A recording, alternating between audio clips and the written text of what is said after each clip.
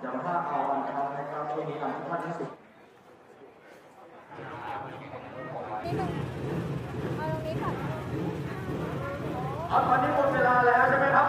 เราพวกเราตลอดนะครับสาระในคุณนัชระ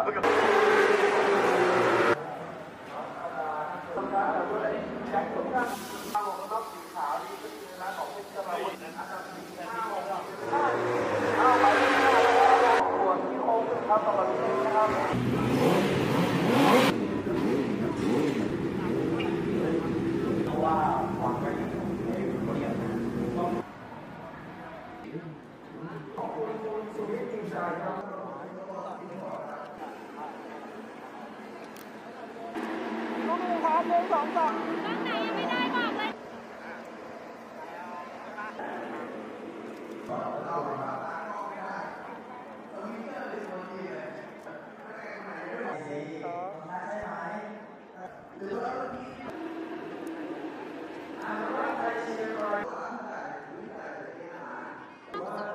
ยูทูบคิดไ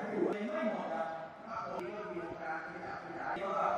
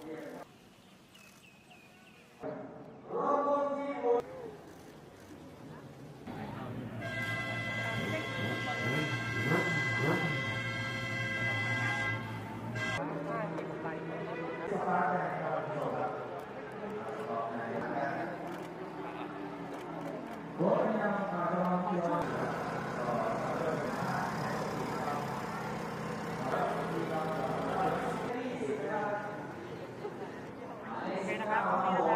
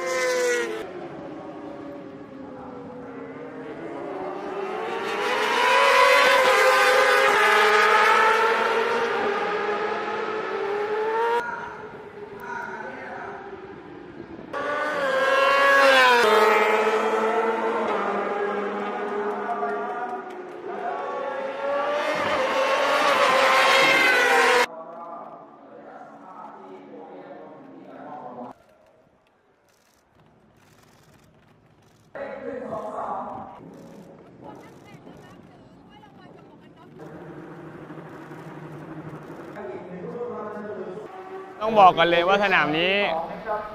เหนื่อยมากๆ ตั้งแต่เริ่มนะครับ แต่ว่าผมก็พยายามทำให้ดีสุด แล้วก็